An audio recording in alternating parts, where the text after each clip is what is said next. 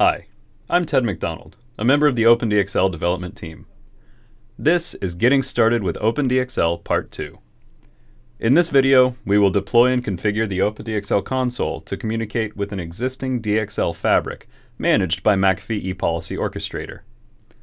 This is a continuation of the series from Part 1, where we configured an OpenDXL environment in a Docker container. First, we'll need to provision a new client configuration to communicate with our EPO managed fabric. In our OpenDXL environment, let's open a terminal and change to our mounted OpenDXL directory, which we'll use as our working directory. Let's try to run the DXL client module first, using python-m DXL client. This shows us the different commands available from the command line. For now, we're only interested in provision config, so let's try to run that.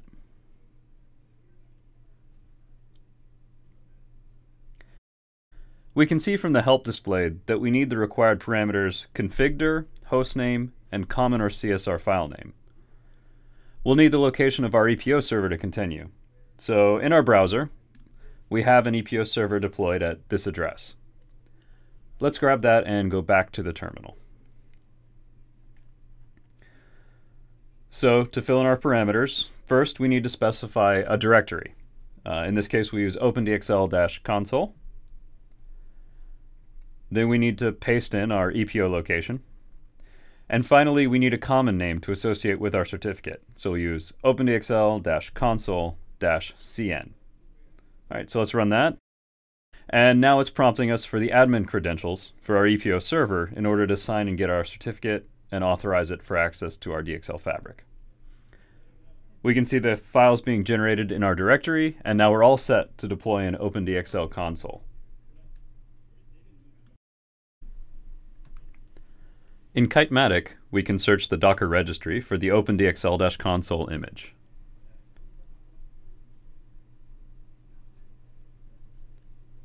Let's create a new container from that image. Now that our container is deployed, we need to configure it. In the volume section under settings, we can mount the directory where we provision the config to the slash opt slash dxl console config folder.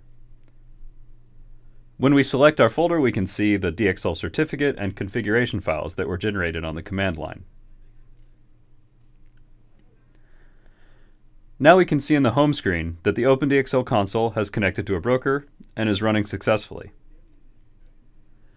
Now let's configure which port we want the OpenDXL console to run on. In the hostname slash port section of settings, we can see the OpenDXL console is running on port 8443 in the container. Let's map that to port 8443 on our local machine as well. And save that.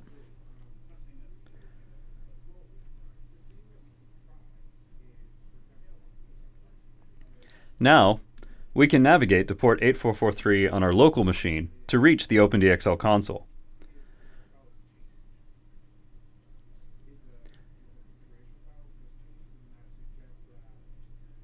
The default credentials are admin and password. These can be changed in the console configuration after deployment. Now we are in our fully deployed OpenDXL console. With the OpenDXL console, we can perform most of the common operations used in a DXL fabric. In the lower left, we have the subscriptions pane. This allows us to subscribe to and receive events on any topic. We'll subscribe here to slash opendxl slash test slash event. In the upper right, we have the Send Message pane. This allows us to publish events or requests to a specified topic with a specified payload. Let's publish an event on our topic, slash opendxl slash test slash event.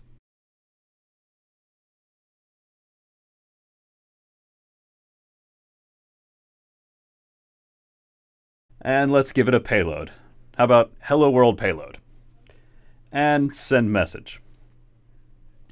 We can see in the lower right, Received Messages pane, our message arrived. We can double click on this message to see the full details.